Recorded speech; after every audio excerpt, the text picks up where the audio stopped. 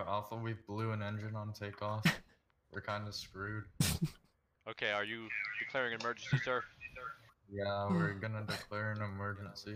Okay, you sound very unenthusiastic for being in such a dire situation.